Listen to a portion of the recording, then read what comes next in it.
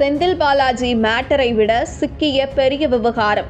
முடிய போகும் திமுக அத்தியாயம். சில மாதங்களுக்கு முன்பு அமலாக்கத்துறையால் சோதனை செய்யப்பட்டு விசாரணையில் இருந்து கொண்டிருக்கும் அமைச்சர் பொன்முடியின் விவகாரத்திற்கு பிறகு அமலாக்கத்துறையின் சோதனை தமிழகத்தில் பெருமளவில் நடைபெறாமல் இருந்த நிலையில் திங்கட்கிழமை காலை திடீரென்று நாற்பது இடங்களுக்கு மேல் அமலாக்கத்துறை அதிகாரிகள் சோதனையில் ஈடுபட்டுள்ளனர். அதுவும் இந்த சோதனை மேற்கொள்ளப்பட்ட இடங்கள் மணல் குவாரிகளாகும். ஏனென்றால் தற்போது மணல் குவாரிகளில் பண மோசடி வழக்கு மற்றும் வரி ஏய்ப்பு போன்ற புகார்கள் தொடர்ந்து எழுந்ததால் இந்த சோதனை நடைபெற்றதாக அமலாக்கத்துறை தரப்பில் தெரிவிக்கப்பட்டது. சென்னை திண்டுக்கல் கரூர் திருச்சி விழுப்புரம் வேலூர் தஞ்சாவூர் போன்ற பத்திற்கும் மேற்பட்ட மாவட்டங்களில் அமலாக்கத்துறை சோதனைகளில் ஈடுபட்டது. சோதனையிடும் பொழுது சிஆர்பிஎஃப் அதிகாரிகளின் பாதுகாப்புடன் அதிகாரிகள் சோதனையில் ஈடுபட்டதும் குறிப்பிடத்தக்கது. மணல் குவாரிகளில் மட்டுமல்லாமல் அந்த குவாரிகளின் உரிமையாளர்களாக இருப்பவர்களின் வீடு மற்றும் அலுவலகங்களிலும் சோதனை நடத்தப்பட்டதும் பெரும் பரபரப்பை ஏற்படுத்தியது.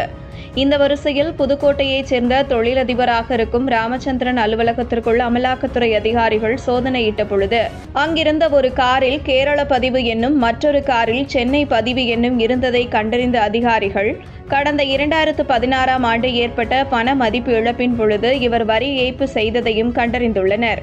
மேலும் நாமக்கல் மாவட்டம் மோகனூர் அருகில் இருக்கும் ஒருவந்தூரில் அமைந்துள்ள அரசின் மணல் குவாரியில் இருந்து செவிட்டுரங்கன்பட்டிக்கு கொண்டு செல்லப்பட்டு பிறகு விற்பனைக்கு கொண்டு செல்லப்படுகிறது கூறப்படுகிறது.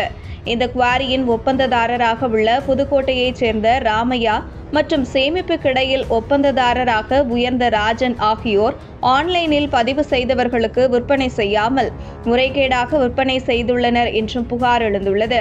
இப்பகுதியிலும் அமலாக்கத்துறை சோதனை நடத்தியுள்ளது.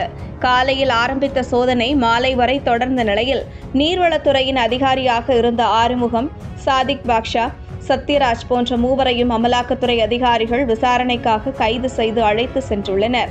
இப்படி திடீரென்று நடைபெற்ற சோதனையில் பல ஆவணங்களை அதிகாரிகள் கைப்பற்றியதாகவும் கூறப்படுகிறது.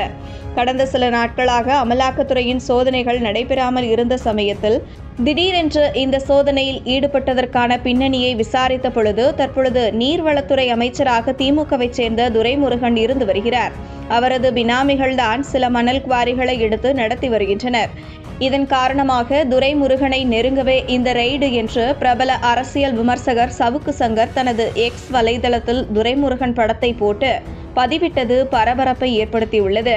ஏற்கனவே அமலாக்கத்துறை வசம் செந்தில் பாலாஜி பொன்முடி போன்ற அமைச்சர்கள் சிக்கியுள்ள நிலையில் தற்போது துரைமுருகனும் அமலாக்கத்துறை லிஸ்டில் சேர்ந்துள்ளார் என விமர்சனங்கள் எழுந்துள்ளது.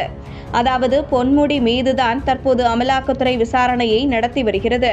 அதனால் மற்ற அமைச்சர்கள் மீதான சோதனை என்பது இன்னும் அதிக காலமாகும் என்று நினைத்து கொண்டிருந்த திமுக அமைச்சர்களுக்கு துரைமுருகனை பிடிக்கத்தான் இந்த சோதனையை அமலாக்கத்துறை நடத்தியுள்ளது என்ற தகவல் திமுக அமைச்சர்களை தண்ணீர் குடிக்க வைத்துள்ளது. மேலும் இந்த விவகாரம் அமைச்சர் செந்தில் பாலாஜி விவகாரத்தை விட ஐந்து மடங்கு பெருசு என விமர்சகர்கள் குறிப்பிடுகின்றனர்.